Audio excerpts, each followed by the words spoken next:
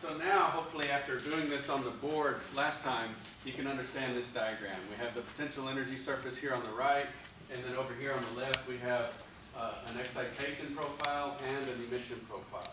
So this is the absorption side on the short wavelength side of a UV vis type graph, and then uh, the uh, emission profile, the fluorescence side of the graph is always red shifted. And the reason it's always red shifted is because the absorption arrows are longer than the emission arrows. And so since the emission arrows are shorter, they're longer wavelengths. If they overlap at all, which they don't have to, the only way they would overlap is if you have a zero to zero transition that then overlaps with a zero to zero emission. So a zero to zero absorption and a zero to zero emission would be right on the same wavelength. But if this potential energy surface is shifted so far to the right, you don't have a zero-zero absorption, then you wouldn't have an overlap. So you'd have actually a complete separation between your excitation or absorbance spectrum and your emission spectrum. Now the emission spectrum, uh, you might not even have a zero-zero. If this is shifted all the way to the right, you would come from the zero down to all of the levels that are here, but you might not hit the zero. So it really depends upon whether the minimum here in the excited state, excited electronic state, is right above or close to the minimum in the ground electronic state. So that's sort of that shifting left and right of those potential energy surfaces are going to govern whether these profiles overlap. Now, when we go from a diatomic to a larger molecule, drawing this beautiful potential energy surface and all of these vibrational levels, it just gets too complicated, the graph gets too busy, and that's where we end up with the Jablonski diagram. So we've taken this, this picture here for a diatomic where the energy levels are far enough apart to show them, and where we can plot the potential energy surfaces of the excited states, and we can still do that for a diatomic, but when we get to a larger molecule, we just draw a bunch of horizontal lines to represent the vibrational and rotational states. And then we just draw this box to kind of show that manifold of states. A manifold, do you know what a manifold is? Just think of a, like a, like a plumbing or gas manifold. It's just a pipe with lots of ports on it. Okay, and so this is just a box with a lot of vibrational energy levels in it. So we would call that this um, manifold of vibrational states. And I've color coded it. So this one up here, this red box would be this one, green box is here, the blue box is here. And so on this Jablonski diagram, we have all of the different possible uh, radiative and non-radiative transitions. So we, we're in a ground state, we can absorb light, and we can't go from a singlet to a triplet state. So there would be no absorption peak from here to there. But there would be an absorption peak from here to there, the first excited singlet state above a singlet ground state. And so they could have absorption from the singlet ground state to the singlet excited state. Now you might be confused. It looks like these absorptions are going diagonally, right? But this is not the, an x-axis here. This is just setting these things in columns. So don't confuse the Jablonski diagram as being plotted as a function of bond length. Okay, so we've lost the x-axis. No longer is, it, is the x-axis the bond length between the atoms. Okay, it's just categorizing. It's saying everything in this vertical column is the singlet ground state. And everything in this vertical column is the triplet excited state. And everything in this column is the singlet excited state. Okay? So these transitions look diagonal, and they are in our column Jablonski diagram, but that doesn't imply anything about this molecule. Okay, all of our radiative transitions in the potential energy surface diagrams are vertical transitions because the x-axis is the internuclear distance, and there's no time for the nucleus nuclei to move.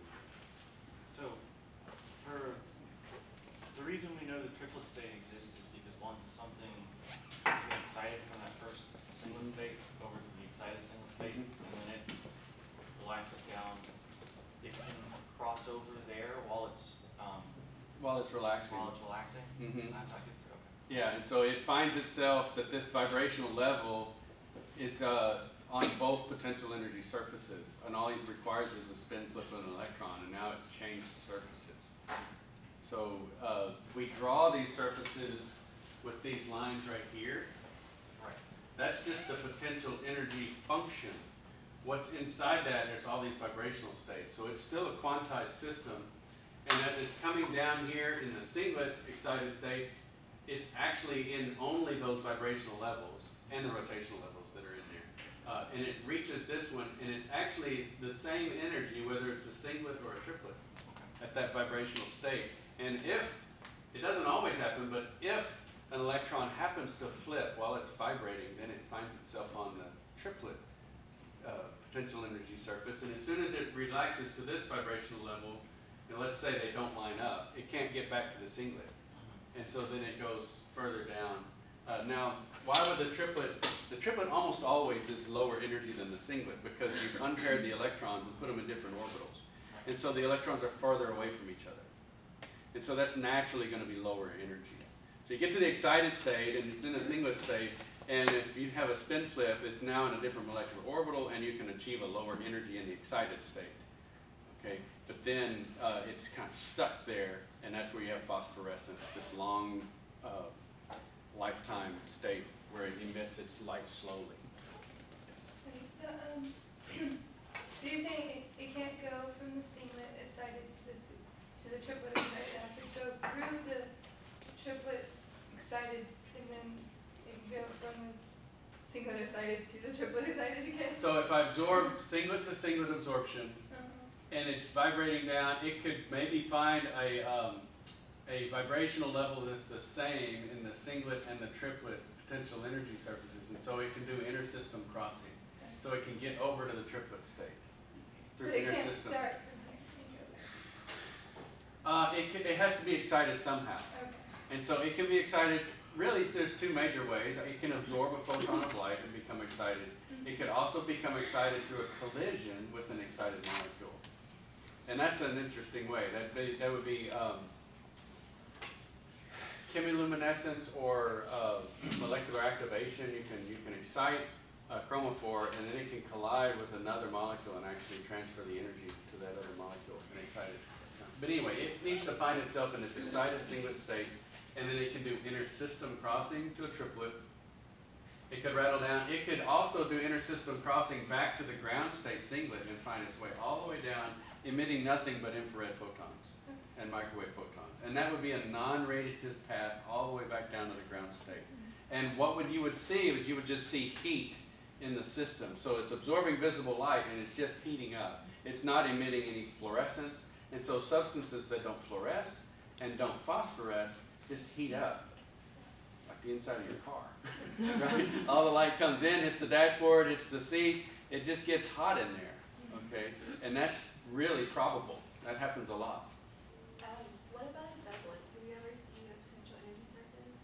Yeah, okay, so we talk about singlets and triplets because most molecules have an even number of electrons. But if they have an odd number of electrons, then you can have doublets and you can have quartets. Okay, so if you've got uh, three unpaired electrons, you have a quartet. So think about this trend. I mean, it's uh, electron is uh, spin one half, multiply by two, and add one. Okay, but you could just think about it. Uh, if it's a triplet, it's got two unpaired electrons okay? If it's a doublet, it's got one unpaired electron. So whatever this term, if it's a quartet, it's got three unpaired electrons. Okay, so this is the general trend. You see this multiplicity, you can go right to the number of unpaired electrons if you know the multiplicity. If it's a singlet, it's got zero unpaired electrons. So I have all these little things that I do, even in my own office, I'm like, okay, it's a triplet, I got two unpaired. Okay, and I'll see you in a test. So these are the pathways. This is the fates of the excited states. Sounds like a title of a movie. So you got somehow the molecule is excited, probably through absorbance. Uh, it can go through internal conversion, where it stays a singlet and goes straight over to the singlet in the ground state, and it can relax non-radiatively, just emitting heat. Okay. It can do an intersystem cross crossing to the to the triplet state once, it could do another intersystem crossing to the singlet state and make its way down.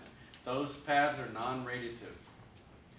Or it could be excited and it could just do non-radiative relaxation to the bottom of that singlet state and then emit a photon and go down to one of these vibrational levels in the ground electronic state, and that would be fluorescence because there wasn't a spin flip.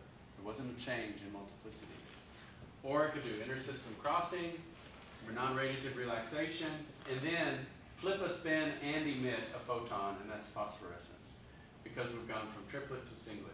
Now, uh, you could also, like for oxygen, you have a triplet ground state, singlet and triplet excited states, and so if it's going from singlet to triplet, it's also phosphorescence. Anytime there's an emission and a spin flip at the same time, that's phosphorescence.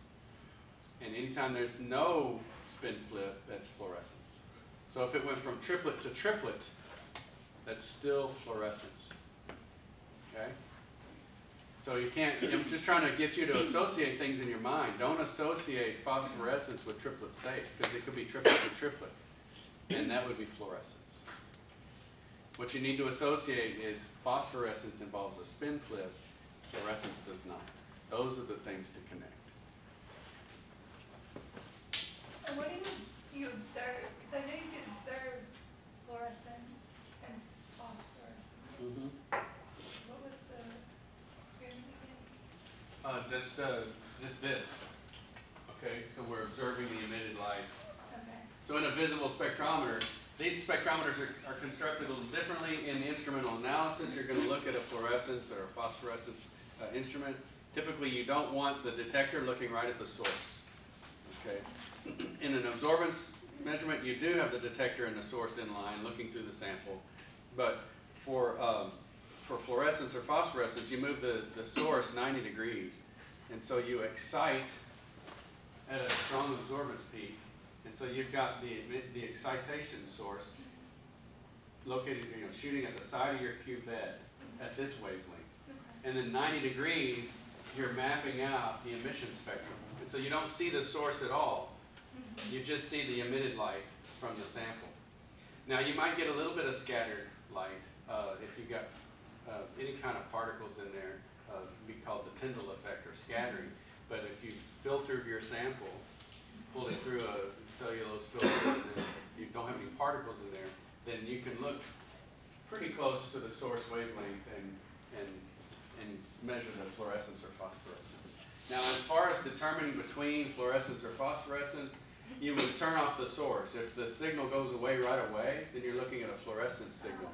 If the signal decays a little slowly, a little, little slower, than you have phosphorescence. Yes. Is there like a threshold of time, like between you said it goes away immediately? and There should be, there should be a drastic difference. Yeah, I don't know the exact dif, you know, difference, but it should be a drastic, phosphorescence is really slow. So, Is that because it, it changes the, the flip? Like that's why slow? yeah, statistically, it's a forbidden transition, but, you know, uh,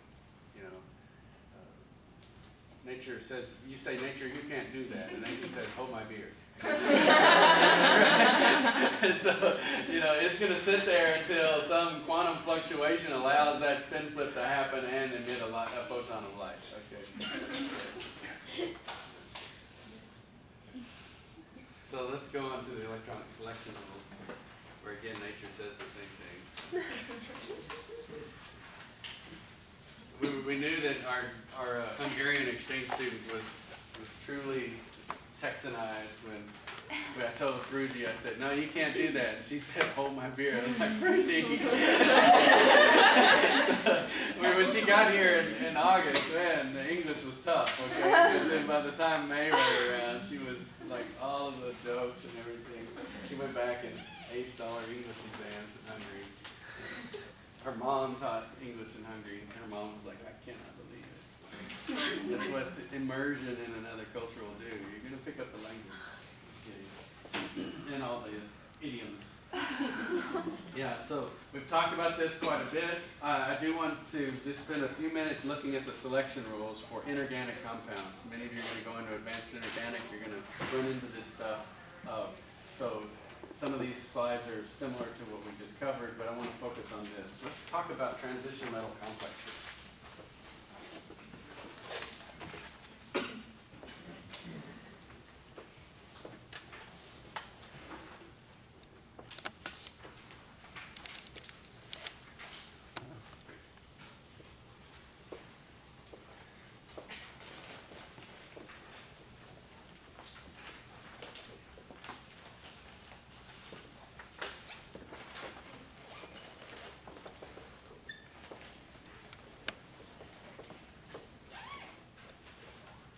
So when we put a copper in water, we see this octahedral complex appear.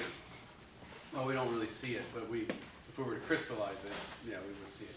But we see evidence that that's the structure because of the splitting of the d orbitals, and we get a colored solution. In fact, it's a deep blue solution, copper, copper sulfate. If you put that in water, the sulfate ions are surrounded by waters, and the copper ions are surrounded by waters, and the copper complex gives us a deep blue color. So we have five equal d orbitals. Which ones are they? They're the three d orbitals. And then they're split. Some of those orbitals are aimed right at the oxygens, and some are aimed in between the oxygens. And so the ones that are between the oxygens actually have a bigger box. Why is that? Why would an orbital that's aimed between the oxygens on the water molecule have a bigger box? If I put an electron in it, it's got a, more freedom to move around in. Hold it down, holding it down the other. Say that again? There's nothing holding it down on the other end. Holding it down. Um, well, it's related to the symmetry. Um, I, I don't understand the holding no- down.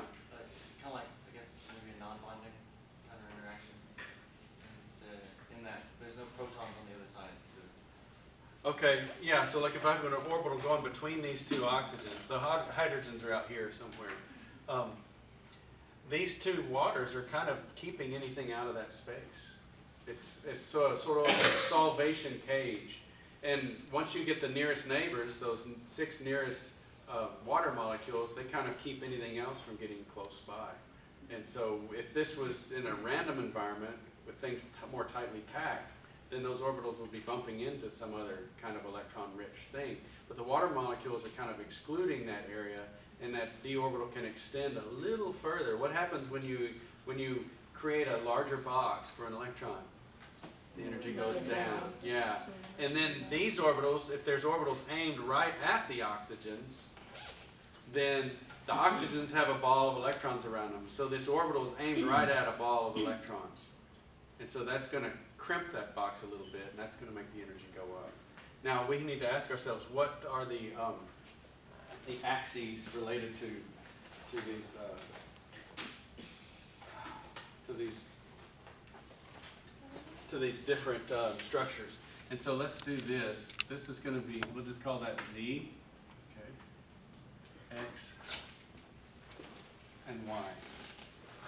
So we've got our, our X and our Y axes aimed right at the oxygen atoms. And is that just a water's law?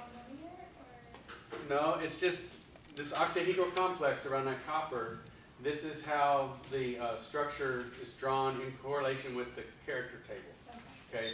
And then the energy splitting pattern that we see. So we go to the D, uh, but first of all, not the D. Uh, what we go to the octahedral character table and we look at the the d orbitals. Now, what are the types of d orbitals that we have? We have the d 2z squared minus x squared minus y squared. That's one of them. Can you help me name all the others?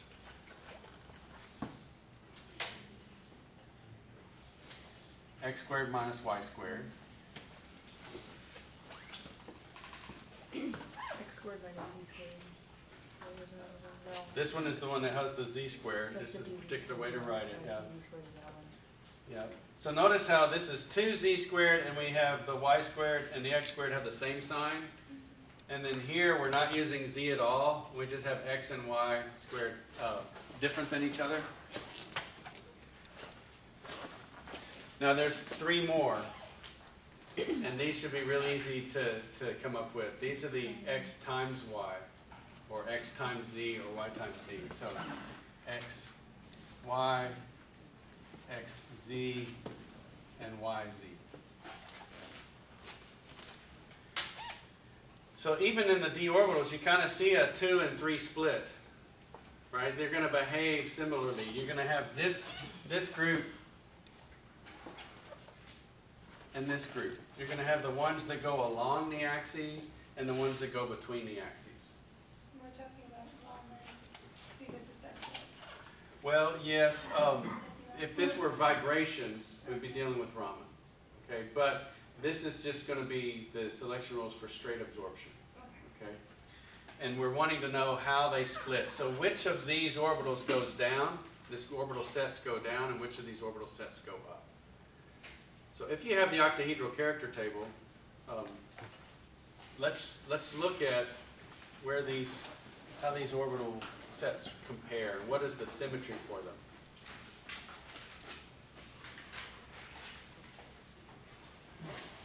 I'm just digging around in there. What have you got? Do you have the octahedral character table? Okay, so look for these algebraic pieces, these combinations of axes in the, in the far right column on the octahedral character table, and tell me the symmetry associated with these two. For the first one? Yes? EG, very good. And the second triple set, T2G.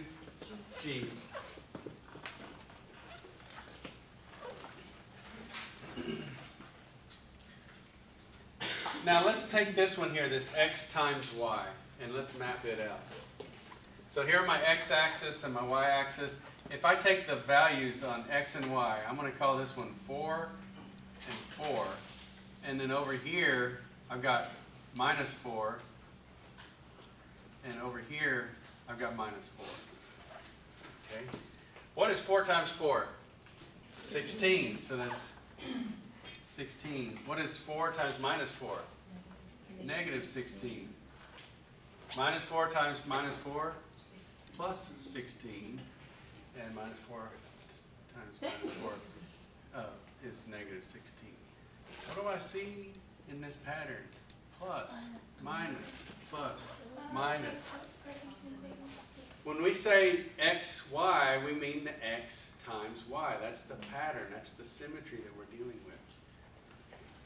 And if I were to map that out, okay, the x-axis, if this is x times y, I've got the whole x-axis times, what's the y value?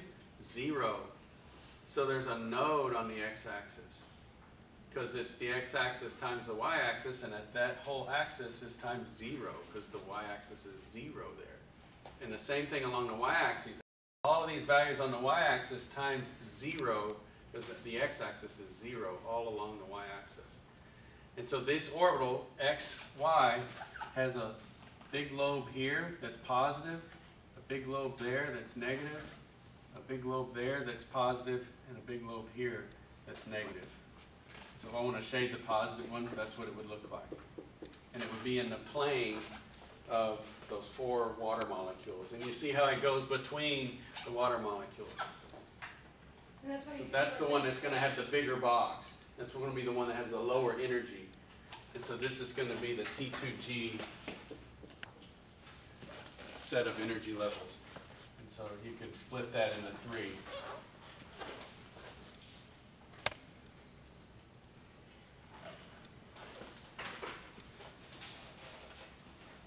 This is gonna get really complicated. If you wanna draw a whole new octahedral complex, uh, let me just do that, I'll erase it. Um, everybody got this? Everybody happy with their drawing? Let's erase this one and do another one.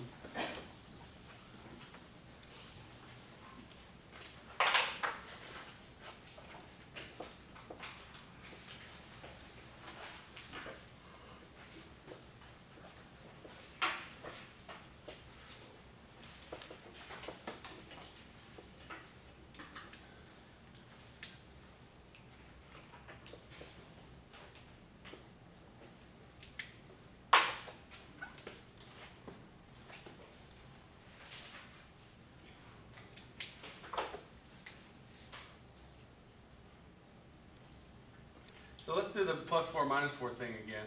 So I've got plus four here, minus four. I'm just picking values on the axes. It's not, there's nothing magic about four.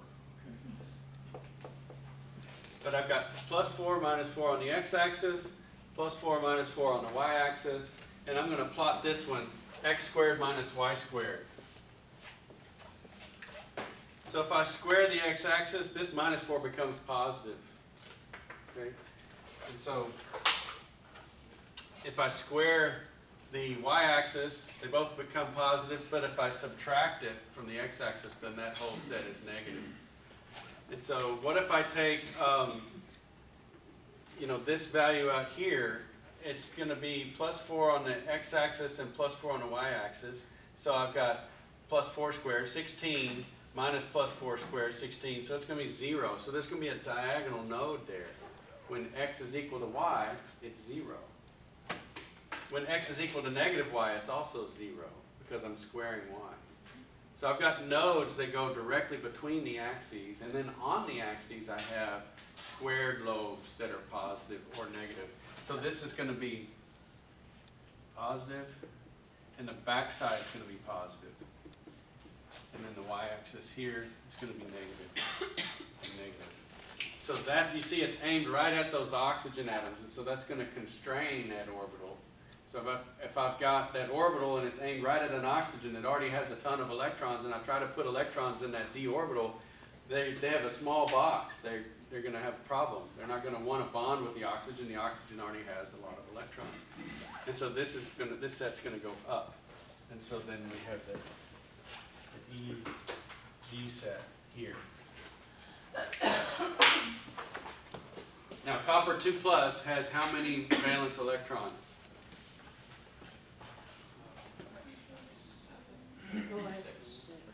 Copper two plus. Okay, so we're over here. So it's right there, um, cobalt, and so one, two, three, four, five, six, seven. So we'll just go straight to seven. So we could have put five here and then, and then doubled up a couple. So we've got one, two, three, four, five, six, seven. And so we've got space for electrons. We could take electrons from the T2G to the EG, and that would be a, a potential transition. So the question is, is that allowed? Right? Is that an allowed transition? And so that's what we're talking about today is the selection rules for, for inorganic complexes. And so let's write out the transition dipole moment integral for this particular transition. E, G, and T2G. Where'd those come from? They came from the states that are involved. Right, I've got T2G here, EG there. And now what do I need? Right, I need the three types of light. And you look at the, at the octahedral character table, what do you have? It's just T one U. T1U, so X, comma, Y, comma, Z is T1U.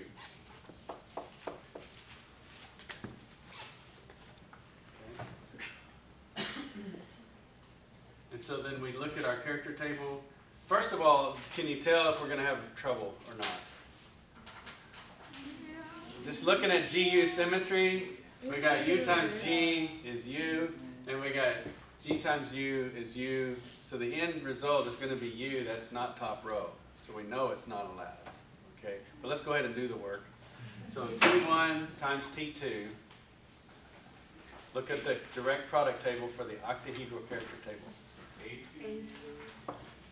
A2, A, or E, uh, A2, right, plus E, E, plus T one, T1, plus T two. plus T2. That's a whole lot of things. Let's just for grin see if the order works out. T is triply degenerate, so I have something that's order 3 times something that's order 3. That gives me order 9. And I have 3, 6, 7, 8, 9. Doesn't that make you feel good? okay. And so, um, and then I have U times G. So I go through and put U's on everything. U, U, U, U. And then I have E times all of that. And so we gotta go through the direct product table, you know, four times essentially. So it's gonna be this really big set of things. You can use set notation, like the curly brackets, so that's the set there, now I have E times that set, and you just multiply it by each piece in the set. And so we have this really long set. E times A2.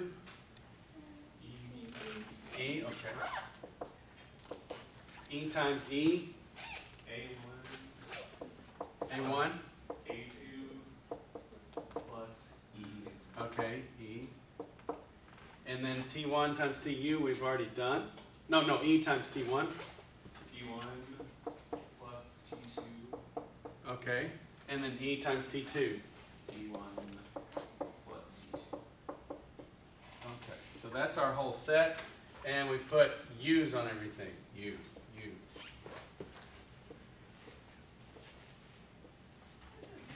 So it looks really complicated, but it's not. And again, it's not hard, it's tedious. Just checking to make sure you did all the multiplications. And so if I have the, the integral over all space of that set, it's equal to zero, forbidden.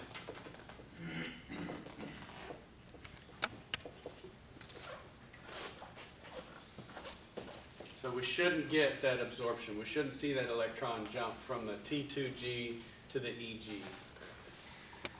Does that bother anybody? I just told you it's a beautiful blue solution. What, what's this, what's the story? Why, why is it absorbing light when, when it's not supposed to? It's not, li- yeah, it's not copper saying, hold my beer. it's much too strong of an absorption for that, okay? Uh, it's a, it's a powerful absorber, and so, um, what is the only thing that's, that's keeping us from having top row? I mean, we got A1 right here, but we have this problem with the U. In this, in this, look how I've drawn the complex. Where are the hydrogens? They're on the outside of the cage. Yeah, are they gonna be perfectly symmetrical? No, No. we break symmetry. If there's any kind of break of symmetry, then this becomes allowed. Okay? Now, what's the, the hardest symmetry to maintain in this molecule would be that inversion symmetry, that GU symmetry. Right? So those hydrogens have to be exactly on the opposite sides of each other at all times for it to maintain the forbiddenness of this transition. And so these, these inorganic complexes, even though we like to show them as perfectly octahedral complexes, there's always some small thing that breaks the symmetry and allows this transition to occur. The overall energetic effect is very, very strong. You know, it's this, it's this splitting, and it's, you know, well, well described by this T2G and EG levels. But you know now that that GU symmetry is probably not maintained. With just slight changes in those hydrogens, all of a sudden you've lost that inversion center, and then all the selection rules are allowed. But we do still talk about them as octahedral complexes. Do you kind of see the tension there? We're saying it's an octahedral complex, which would mean that that peak shouldn't be there, but the peak is there, so it's probably not an octahedral complex. Maybe 99% an octahedral complex, okay? But that 1% is enough to really wreck the symmetry, and then it allows all these transitions to occur. So, the same thing can be done with the tetrahedral um, molecule. Uh, if you're going to do the tetrahedral, I'd like to leave that one for you in your, in your notebook. Pay attention to how it's drawn.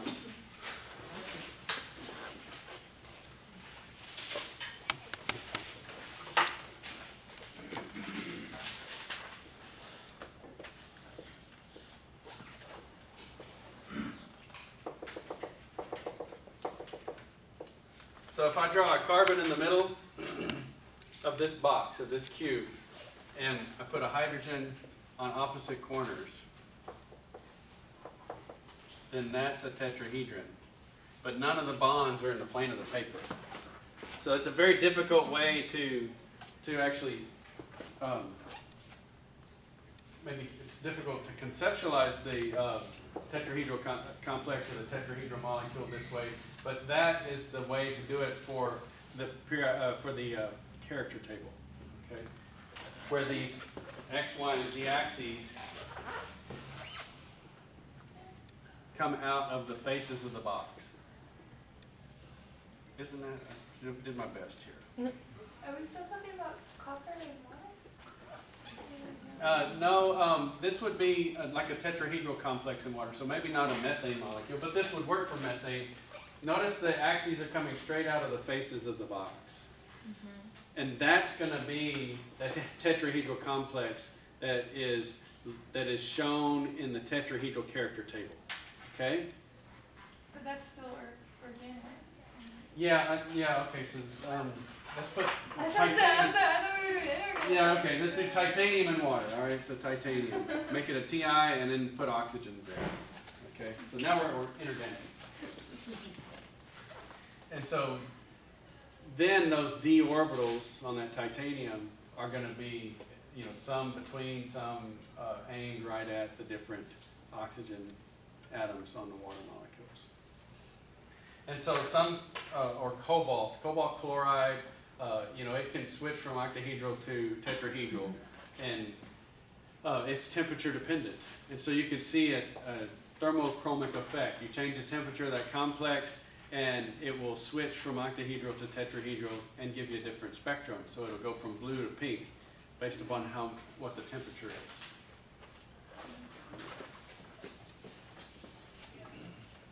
And so this is just, again, what we've done on the board, kind of talking about uh, these uh, selection rules. Now, the strongest, the strongest absorbing molecules are ones that have actually electron transfer. So charge transfer, where the, the metal cation transfers an electron to the ligand or the thing that it's associated with. Or the ligand to metal transfer. So you can have ligand to metal charge transfer or metal to ligand charge transfer. And those have the strongest absorbances. Um, This is uh, phenanthrene here. Iron phenanthrene is one of the strongest absorbers. You can get really low detection limits for iron by using this phenanthrene ligand. And it, it will associate with the iron atom in solution, or the ion, and in kind of like a boat propeller mode. You see, it's like this fan blade. And you can put three of those around an octahedral complex. And they have really strong absorption. Uh, this is just uh, some review on the photoelectronic, uh, photoelectron spectroscopy. But I, would- I would like to um, get to